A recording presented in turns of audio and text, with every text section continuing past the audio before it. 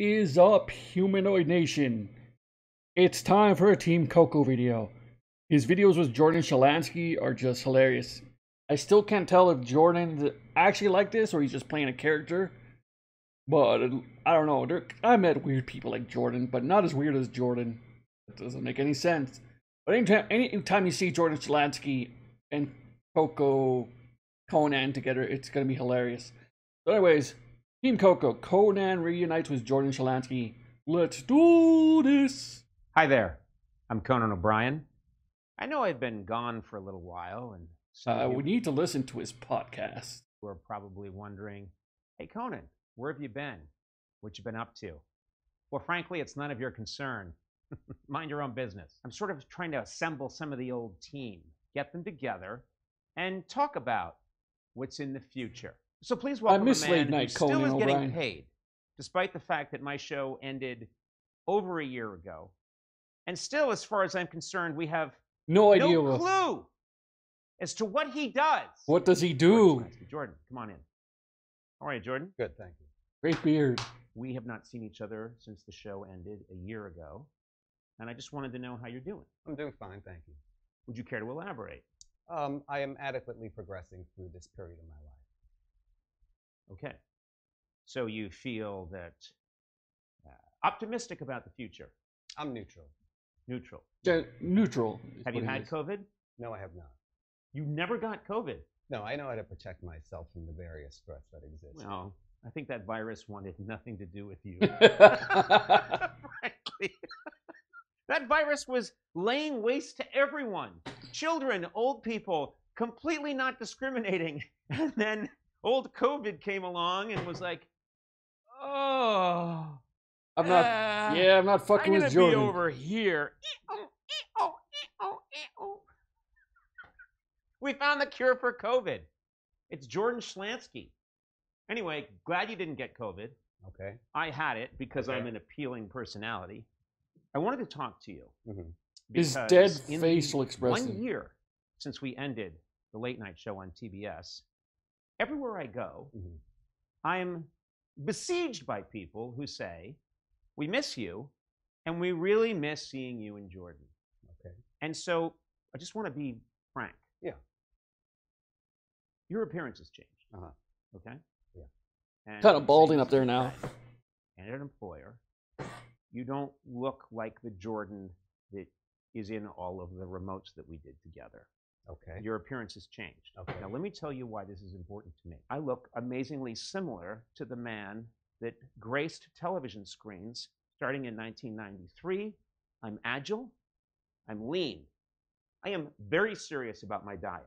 I eat soy, soybeans, but I only eat the shell of the soybean. Are you aware that the consumption of soy may interfere with your body's estrogen levels and consequently testosterone? Have you thought that might compromise That was a your Now I know. I didn't before, but thank you, Jordan. Problem. that was a problem. I was a double D cup. Are you talking about your breasts? Yes, I had full womanly lactating breasts. I didn't even know that. Now you tell me. Mm, flat. It was fun. My point is that I have kept this look going.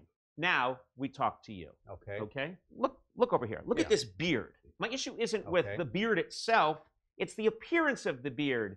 What's happening here? You're all gray, Okay. and then I mean, look at this. This is quite unusual. It looks like a tarantula is fucking your mouth. okay. I want this Jordan. Okay. I The need to. I need to use that line from now on. A tarantula is fucking your mouth. That you now look, I'm gonna guess 75, Okay. maybe 80. Hey, and thanks for your work in the Korean conflict. Right. You really served our country. I would like you to do what I've done. Look at me. I haven't changed. Look at this.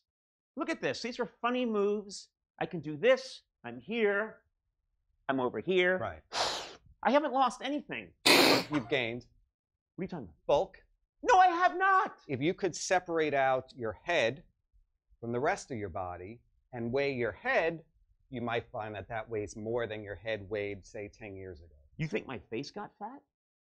There's been a, a widening There is I not- won't use the word fat, but uh, and who's to say that it's a negative thing? Some people may desire this. Men go to the gym and work out to build that kind of. Nobody, nobody, especially an Irishman, Right. goes to a gym to make his face fatter. Now, No one's ever Yeah. done that. It- Do you think Ted Kennedy used to say, "Well, I'm uh, I'm off to the spa. I'm gonna get my uh, my my- face made even wider"?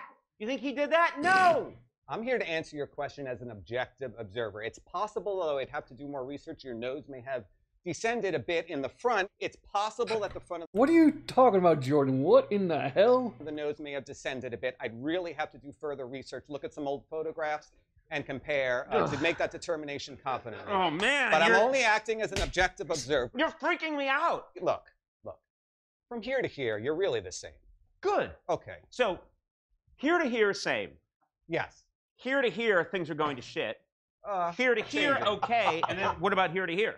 there's I feel that there's been an alteration, and again, who's to judge? It may be superior. It may you have may have intentionally done it. What I'm saying is, uh, if What, you do I- look what do you mean intentionally What? done what? I've been doing crunches. Okay. I I do up You to have to exhale when you do the crunches. Do you understand? It's important to breathe, otherwise you get an, a distended uh, ab- abdominal area. I don't know if that's your issue. It's important I breathe. It may not be necessary for you to breathe. I see some personality um, changes in your life that are reflected in your physical state. In the past year, the show has ended. You feel as if you're contributing adequately to to the comedic population by doing a podcast once a week, and suddenly you're like, I'm going to enjoy myself. I deserve it. I worked hard all these years. Let's let myself go. And this is, may have been an intentional desire of yours. I mean, why restrict yourself to strips of turkey when you can eat pork chops? Okay. If that's what you're interested in consuming. I'm not You- here to tell you- you that it's wrong. You think I'm around eating pork chops? I'm saying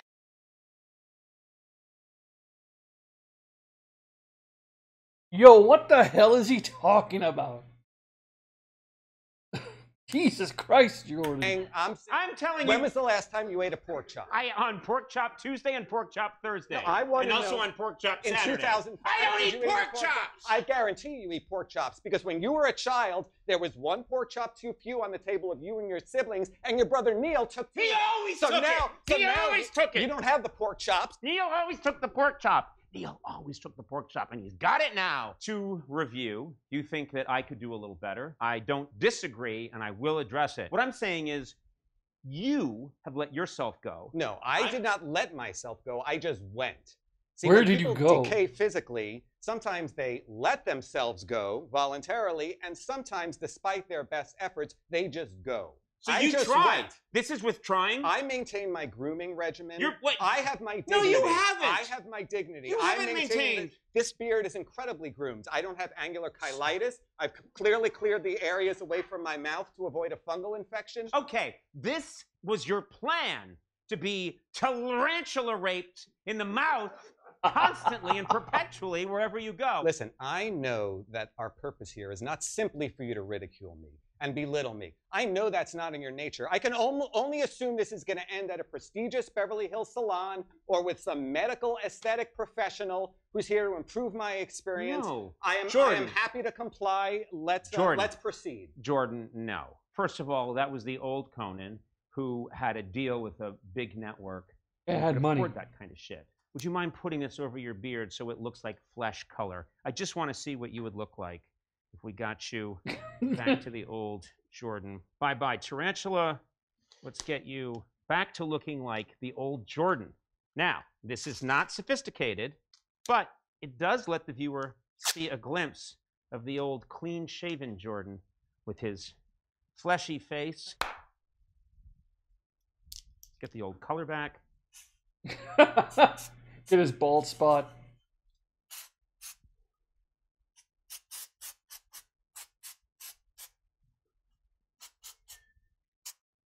There we go. Hey, good news. Listen to this. Soon with no lead. Oh shit.